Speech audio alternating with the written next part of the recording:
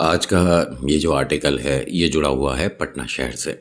पटना में एक कुआँ है, जिसके बारे में कहा जाता है कि साइंटिस्ट भी अपने सभी उपकरण रख चुके हैं कि भाई टेक्नोलॉजी भी इसको सॉल्व नहीं कर सकती। हमारे बस की बात नहीं है, हमसे नहीं हो पाएगा। क्योंकि इन्होंने कोशिश बहुत बार करी। एक बार, दो बार, तीन बार, बहुत बार। लेकिन हर बार जो सोल्यूशन आता था सामने, जो रिज़ल्ट आता था, वो इनकी आँखें बड़ी कर देता था। ऐसा कैसे हो सकता है? अरे, इसके पीछे रहस्य बहुत सारे हैं, लेकिन कुछ तो सॉल्व करते हैं। साइंटिस्ट तो ये मानकर चल रहे थे कि शायद हमारी पढ़ाई लिखाई इंडिया के बाहर ही चल पाएगी। यहाँ पर ये जो हो रहा है, ये अपनी कल्पनाओं से भी परे है। क्या है ये कमाल की बात? सबसे पहले तो नमस्कार, मैं नितिन हूँ, ये है चाचा का रेडियो। यहाँ से vlog movie reviews article discuss करता हूँ। बहुत धीरे धीरे आराम आराम से अब हम बात क्या करेंगे? कभी कभी हम बहुत जल्दी जल्दी बात कर लिया करते हैं। तो लोग ये मैसेज करते हैं कि नितिन इतनी जल्दी में बता देते हो। कभी कभी कुछ चीज़ें मिस हो जाती है। तो बहुत आराम से, बहुत धीरे आपको बताना है। तो चलिए ठीक है धीरे धीरे ये बोल देता हूँ कि ये सब्सक्राइब कर देना। आप सब्सक्राइब नहीं कर रहे हो, मुझे पता चल जाता है। आते हो, वीडियो देखते हो, चले जाते हो। लाइक और कमेंट तो कर देते हो सब्सक्राइब कौन करेगा? सब्सक्राइब करना बेहद ज़रूरी है। और बेल आइकन दबा लेना और फिर ऑल के ऑप्शन को दबा लेना। आज का जो आर्टिकल है, ये मैं अगम कुएँ के बारे में बता रहा हूँ। बहुत से लोग आगम कुआँ बोलते हैं, बहुत से अगम कुआँ बोलते हैं। कहा जाता है कि यह पाताल से जुड़ा हुआ है। इसके पीछे बहुत सारे राज, बहुत सारी कहानियाँ हैं, जिनमें से सबसे ज़्यादा प्रचलित कहानी क्या है कि सम्राट अशोक ने अपने निन्यानवे भाइयों को ईश्वर के पास पहुंचाकर उनके शरीरों को यहीं फेंक दिया था, यहीं गायब कर दिया था। एक कहानी ये आती है कि इस कुएँ के अंदर सम्राट अशोक ने अपना खजाना छुपाया था। एक कहानी ये आती है कि ये पाताल से मिलता है। इसके पीछे बहुत सारे जो रहस्य हैं राज हैं उनमें से कुछ आपको बताता हूँ। सबसे पहला कि इस कुएँ का पानी कभी अपने लेवल से ऊपर नीचे नहीं होता। हाँ आपने सही सुना। अगर बारिश हो रही है सोच कर देखिएगा कि कुएँ का स्तर इतना है। ठीक है आ, पानी इतना भरा हुआ है। बारिश हो जा रही है लगातार कई दिन, कई हफ़्ते तक। तो पानी नेचुरल सी बात है कि ऊपर आ जाएगा। हर कुएँ में ऐसा ही होता है, लेकिन इसमें ऐसा नहीं होता। चलिए, ये तो हो गई बारिश में न जाने वो पानी कैसे कहाँ चला जाता है, और पानी का स्तर जो है, वो मेंटेन रहता है। सूखा मान लेते हैं, सूखा पड़ता है।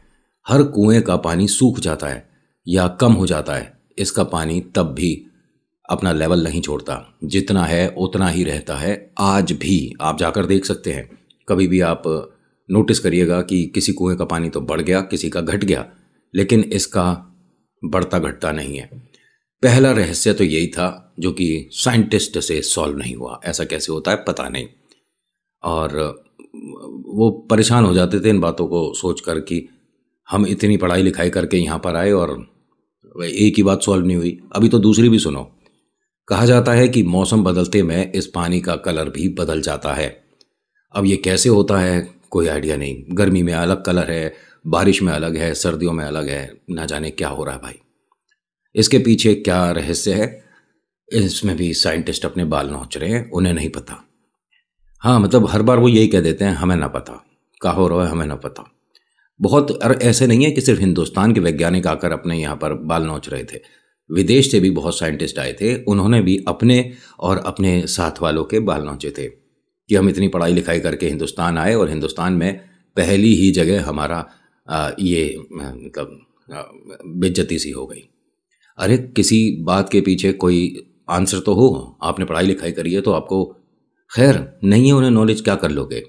हर सवाल के जवाब नहीं होते और हिंदुस्तान में एक नहीं, ऐसी अनेक जगह हैं। रहस्य छुपे हुए हैं हर जगह। खैर, एक बड़ी कमाल की बात बताऊँ, जिस वक्त इस कुएँ का निर्माण हुआ है कहा जाता है कि 20 फीट मैक्सिमम बता रहा हूँ। 20 फीट तक अगर आप खुदाई करते हैं तो पानी आ जाता था। लेकिन इस कुएँ में 20, 25, 30, 35, 40, 50, 100, 105 फीट के बाद पानी आया था। और जबकि ये गंगा के किनारे है उसके बाद भी ऐसा। ये क्या है? ये तीसरा रहस्य था। इस पर से भी कोई साइंटिस्ट पर्दा नहीं हटा पाया।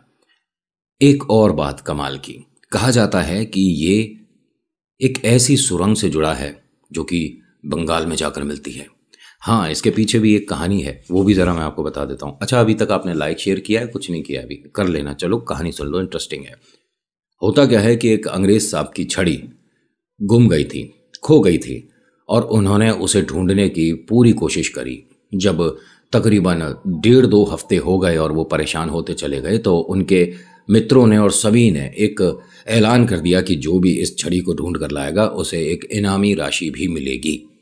और बहुत उन्होंने मतलब एक तरह से उसमें आपको ये मिलेगा, वो मिलेगा, बहुत सारी चीज़ें होती रहीं। लेकिन बंगाल के गंगा सागर में गिरी थी वो छड़ी जो है, और वो निकलती कहाँ पर है? पटना के इस कुएँ पे। हाँ लोगों ने उस छड़ी को इस कुएँ में जब तैरता देखा तो ये खबर अंग्रेज़ साहब के पास पहुँची और उन्होंने फिर ये क्लियर कर दिया कि हंड्रेड एंड वन परसेंट इसमें जो सुरंग है, ये हमारे बंगाल तक आई है। और कैसे, क्या, कुछ नहीं पता। अगर आप कहते हो कि नहीं नितिन, ये तुम मन से बना देते हो चीज़ें ऐसा नहीं, कुछ नहीं होता। तो गूगल तो है ही आपके पास यूट्यूब भी है, जिस पे वीडियो देख रहे हो सर्च कर लेना, पता चल जाएगा। और अगर आप म्यूज़ियम में जाकर वो छड़ी देखना चाहते हैं तो वो भी देख सकते हैं, आज भी है। और तो और, ये कहा जाता है कि उस छड़ी पर नीचे साइड में ये भी लिखा है कि ये वही छड़ी है, जो कि बंगाल के गंगा सागर से होकर सीधा यहाँ पटना के इस कुएँ में पहुँची। ये तो कुछ मैंने आपको रहस्य बताए। एक बात और है, ये धार्मिक भावनाओं से भी जुड़ा हुआ है। ठीक इस कुएँ के पास माँ शीतला देवी का मंदिर है। इसके पीछे कुछ कहावतें हैं जो लोगों ने बताई हैं। पहला, कि जो निसंतान है इस कुएँ के पानी से माँ शीतला के दर्शन करने के बाद, नहाने से उनको संतान की प्राप्ति हुई है। बहुत सारे ऐसे एग्ज़ाम्पल हैं जिन्होंने कहा है कि सात आठ साल तक बहुत सारे इलाज, बहुत सारी पूजा पाठ के बावजूद ऐसा कुछ नहीं हुआ कि हमारी गोद भर पाए। लेकिन यहाँ जाने के बाद हाँ ईश्वर की कृपा से, माँ की कृपा से संतान की प्राप्ति हुई है।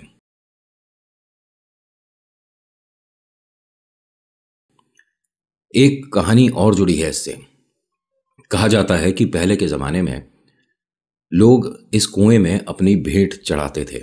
मतलब जैसे लूटपाट करके आए कहीं से और मतलब उनके पास बहुत सारी धनराशि है तो इसमें कुछ सिक्के, कुछ ज्वेलरी डाल दिया करते थे। दूसरा, इसमें ख़जाना भी लोगों ने छुपाने की कोशिश करी थी। और तीसरा, इसमें और भी कुएँ हैं। ये कुछ अजीब नहीं लगा आपको कि कुएँ के अंदर और भी कुएँ हैं? हाँ इसकी बनावट कुछ अलग है। और जब आप इस कुएँ को देखने जाते हो, बाई चांस मौका मिलता है। आप, बाकी के कुएँ देख पाएँ तो उसमें एक तहखाना भी है, जिस तहखाने में पानी नहीं पहुँचता। ये कुछ कमाल की बात नहीं है। उसके आगे आप खड़े होकर, पहले के ज़माने में लोगों ने फ़ोटो भी क्लिक करी हैं। लेकिन अब वहाँ तक पहुँचने की सुविधा अभी है, नहीं है। मुझे उस चीज़ का आइडिया नहीं है। जितना जो आर्टिकल मेरे पास आया, वो मैं आपको बता रहा हूँ। और हाँ इनमें से एक कहानी को जो सम्राट अशोक को फॉलो करते हैं, वो बिल्कुल से नकार देते हैं कि ये जो कहानी है कि सम्राट अशोक ने निन्यानवे भाइयों को इसके अंदर ऐसा कुछ भी नहीं हुआ था, सिर्फ़ और सिर्फ़ जो सम्राट अशोक थे, उन्होंने अपना ख़जाना छुपाने के लिए इसका निर्माण करवाया था।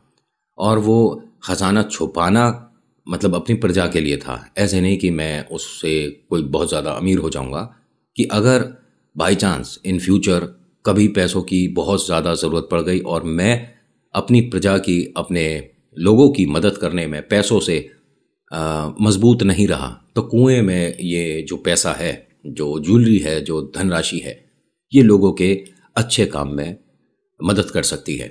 उन्होंने इसीलिए इसका निर्माण करवाया था। इसके पीछे एक और बात है कि कहते हैं कि आप माँ शीतला देवी के जब जाते हैं तो उनके दर्शन पूजा से पहले आपको इस कुएँ के आगे हाथ जोड़ना पड़ता है, एक परिक्रमा लगानी पड़ती है, फिर उसके बाद आपकी मनोकामना माँ शीतला देवी पूरी करती हैं। और यहीं का पानी है जो कि इधर चढ़ाया जाता है। एक मेरे को हल्का सा सवाल आ रहा था मन में, आप सभी से पूछ कर देखता हूँ। पहला, इनमें से किसी भी सवाल का जवाब ज़रूर दीजिएगा। पहला, क्या आप मानते हो कि ये जो कुआँ है, कुछ मैजिकल है, कुछ जादू है इसमें। दूसरा, ऐसा भी तो हो सकता है कि किसी तांत्रिक ने उस कुएँ को बाँध रखा हो, जो उसके अंदर ये सारी प्रक्रिया होती रहती हैं। तीसरा, पूरे हिंदुस्तान में एकमात्र ऐसा कुआँ क्यों है ये, जिसे पाताल का रास्ता बोलते हैं? इसकी गहराई अभी तक कोई नाप नहीं पाया। हाँ बड़ी कमाल की बात है। ये जो पुरातत्व वाले लोग हैं, भाई साहब, बहुत सारे बड़े बड़े लोग, कुछ इसमें वैज्ञानिक भी। ये इसकी ना गहराई नापने के लिए गए थे, लेकिन वापस लौट आए। कह सकता हूँ कि उनके गैजेट छोटे रह गए, उनकी रस्सियाँ छोटी रह गई, या उनका मनोबल टूटने लग गया, कि इससे ज़्यादा गहराई क्या ये समुद्र थोड़ी ना है, एक छोटा सा कुआँ तो है। इसकी गहराई नापने में वो सभी लोग असफल हो गए।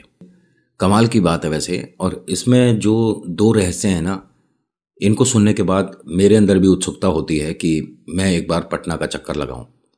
हाँ हो सकता है कि अगले दो महीने में आ, मैं पटना आऊँगा और अगर आया तो इस आगम कुएँ के पास और इसको अच्छे से ऑब्ज़र्व ज़रूर करेंगे देखेंगे। और हो पाया तो इसके लिए कोई वीडियो भी बनाऊँगा व्लॉग वहाँ पर आपके लिए। अगर आप पटना से हैं तो ज़रा बताइएगा कि मैं बात ठीक कर रहा हूँ ये सिर्फ़ हवाई बातें हो रही हैं। क्योंकि बहुत से लोग सोचते हैं कि मैं कहानियाँ बना देता हूँ। ऐसा है, देखिए गूगल आपके पास भी है रिसर्च आप भी करना जानते हैं। थोड़ा सा रिसर्च करो और मुझे बताओ कि जो मैंने बताया, ये सच है या इसमें मसाला मैं खुद लगा रहा हूँ? खैर, पता है, जो मेरी उत्सुकता हो रही है इस कुएँ को देखने की, वो तीन बड़ी वजह से हो रही है। पहला, कि इस मतलब कुएँ का पानी ऊपर नीचे क्यों नहीं होता भाई? पानी कम ज़्यादा क्यों नहीं होता? दूसरा, कि इसका कलर कैसे चेंज हो जाता है? और तीसरा जब हर जगह से कुएँ में 20 फीट तक पानी आ गया था तो 105 फीट पे इस पे पानी आने का मतलब क्या हुआ? जबकि गंगा किनारे है इसमें पानी तो 12-15 फीट पे या 13 फीट पे आ जाना चाहिए था। 105 फीट? खैर, ये तो एक रहस्य है जो कि बड़े साइंटिस्ट नहीं सुलझा पाए, अपने बाल नौच कर चले गए तो मैं ही क्या सुलझा लूँगा, लेकिन मेरे अंदर जो उत्सुकता जागी है, इसे देखने की, इसे मैं ज़रूर एक बार देखना चाहूँगा। और आज के आर्टिकल में इतना ही है। कैसा लगा बताना ज़रूर। जितना जो जहाँ से मिला है, वो उतना मैं प्रस्तुत करता हूँ, परोसता हूँ। मन से बनाते रहो, बताते रहो, ऐसा नहीं होता अपने से और करना भी नहीं चाहिए। So thank you so much for watching मैं नितिन हूँ, यह है चाचा का रेडियो। मुलाकात करूँगा नेक्स्ट वीडियो में। तब तक के लिए ध्यान रखिए अपना। एक चीज़ और कहना चाहूँगा। ये ज़रूरी है, ध्यान से सुनिएगा। इधर सब्सक्राइब का बटन से दबा लो, इसके बहुत फ़ायदे होने वाले हैं। हर हर महादेव। धन्यवाद।